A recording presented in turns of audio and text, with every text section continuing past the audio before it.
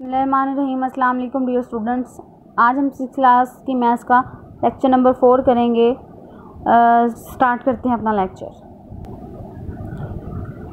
Lecture number four है हमारा। Types of sets पढ़ेंगे हम इसमें। There are three types of sets sets की तीन टाइप्स हैं। Number one finite sets number two infinite sets and number three empty sets सबसे पहले है finite set A set having finite number of elements is called a finite set. Consider the following examples of set. Finite sets में जो elements की तादाद होती है, वो हमें पता होती है, वो फाइनाइट होती है, हम उनको काउंट कर सकते हैं जैसे कि the set of natural number less than ten अब आपको बता रहा है कि दस से कम नेचुरल नंबर से वो आप बता सकते हैं one two three four five six seven eight and nine the set of vowels in the English alphabet vowels भी आप बता सकते हैं इसी तरह बहुत सारे एग्जाम्पल्स हैं। इसके बाद हम पढ़ते पढ़ते हैं इनफानाइट सेट्स इनफानाइट सेट्स इसके ऑपोजिट होता है। इसमें हम, इसके बाद इनफानाइट सेट इनफानाइट सेट इसका, मैंने आपको बताया अभी ऑपोजिट होता है। उसमें लिमिटेड होते हैं एलिमेंट्स और इसमें अनलिमिटेड होते हैं।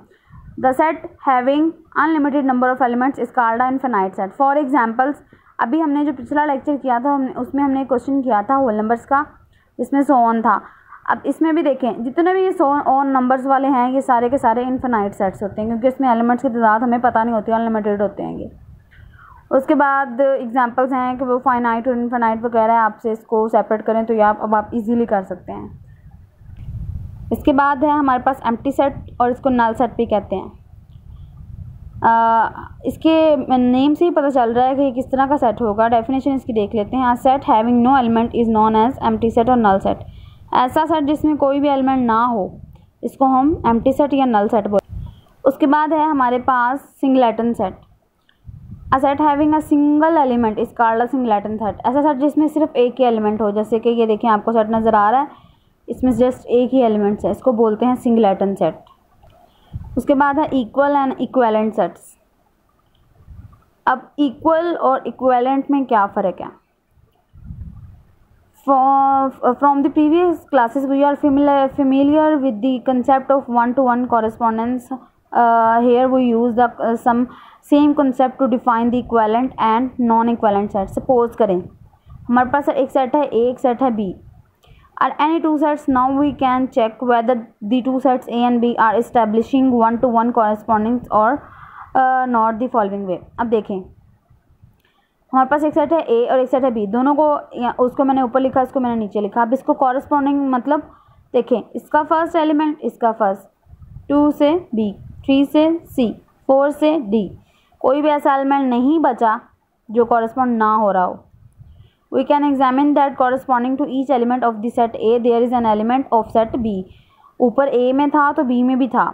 It means sets are establishing one, uh, establishing one-to-one -one correspondence which can be denoted by A uh, corresponding uh, corresponding B. Such types of sets are called equivalent set. इसको बोलते हैं A equivalent to B. अब इसकी definition है हमारे पास two sets are called equivalent if and only if one to one correspondence can be established between them अगर उसमें one to one corresponding होंगी तो वो क्या होगा हमारे पास इक्वलेंट सेट इसके बाद है नॉन इक्वलेंट सेट ये देखें एग्जांपल देख लें आप इसकी. वन से ए थ्री से ई फाइव से आई सेवन से ओ लेकिन यू नहीं है. तो ये हमारे पास क्या होगा? Non equivalent two sets are called non equivalent if if one to one correspondings can not be establishing between them अगर इसमें कॉरेस्पॉन्डिंग्स नहीं होगी तो ये क्या होगा? नॉन इक्वलेंट इसके बाद हम लास्ट सेट पढ़ेंगे इक्वल सेट इसमें देखिए सपोज़ करें कि पी एंड क्यू दो सेट्स हैं। एक पी है, एक हमारे पास सेट क्यू है। From above we can examine that each element of the set P is also an element of set Q similarly each element of the set Q is an is also an element of the set P जो element P का है, वो Q में भी है और Q का हर एलिमेंट पी में भी मौजूद है। Such type of sets are called equal set which can be written as इसको हम लिख सकते हैं P is equal to Q देखिए, आगे पीछे हो सकता है, लेकिन एलिमेंट दोनों में होंगे। One one two two three three four four and five five आज के लिए बस इतना है। जितना ये डेफिनेशन मैंने आपको करवाई हैं, इनको लर्न कीजिएगा। एक्सरसाइज में हेल्पफुल होंगी। स्टे ब्लेस अल्लाह हाफिज़।